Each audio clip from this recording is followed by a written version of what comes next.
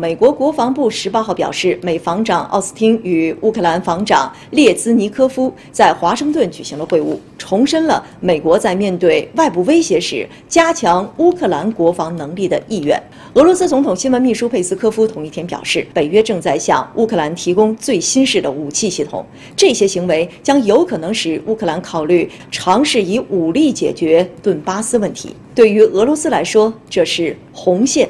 俄罗斯将会采取果断措施进行应对。